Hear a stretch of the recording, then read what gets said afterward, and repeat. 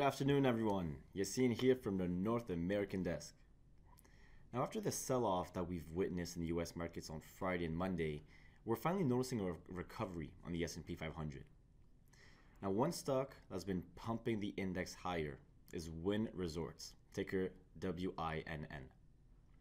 Now, we recently learned that the CEO has left the company after multiple allegations of sexual misconduct, which investors are treating as very positive news. Now, let's see what the chart is saying. The stock has been supported uh, by a rising trend line uh, that's been in place since the month of March in 2017. Now, looking at the relative strength here at the bottom, uh, we can see that the stock is clearly outperforming the S&P 500.